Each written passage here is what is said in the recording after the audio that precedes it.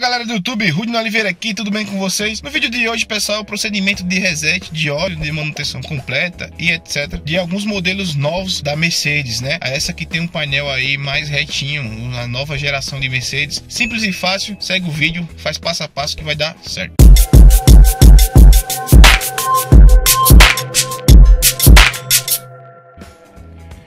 Pessoal, para você estar tá resetando é, esses modelos novos de Mercedes, com independente, todo que é com esse painel aqui mais reto, né? Os modelos inferior é um pouco mais simples, tem um vídeo no canal também. Só que esse modelo aqui é um pouco diferente, tá? Você vai aqui, ó, vou mostrar rapidão para vocês. Aperta normal aqui a chave e tal. Aqui a gente tá trocando os pneus. Você vem aqui na casinha, ó, aqui.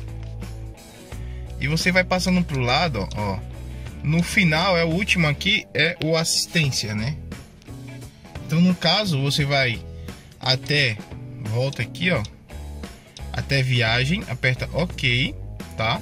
Aqui nesse caso eu já fiz, mas você vai apertar aqui, ó, o meio e a setinha para voltar juntos. Aperta aí durante uns 5, de 5 a 7 segundos ou até um pouco mais, tá? Ficou pressionado os dois botões iguais, solta, aí você vem na casinha de novo e vai pro lado, ó. Indo pro lado, você pode ver que no, no lado do assistência apareceu o modo oficina.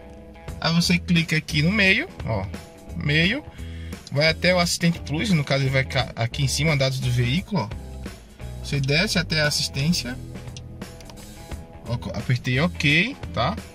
Aí tem dados de serviço de cima e de baixo é serviço completo, ok. Você coloca no último aqui, ó, confirmar serviço.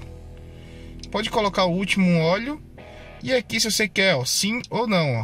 Como eu não quero, que eu já fiz, é só para mostrar para vocês que é fácil aí que faz o reset desse modelo aí de Mercedes, tá? Serve para vários modelos e vou estar tá colocando aí na descrição do vídeo. Valeu, pessoal. Se gostou, se inscreve, ativa as notificações, comenta se deu certo aí no seu carro e até o próximo vídeo.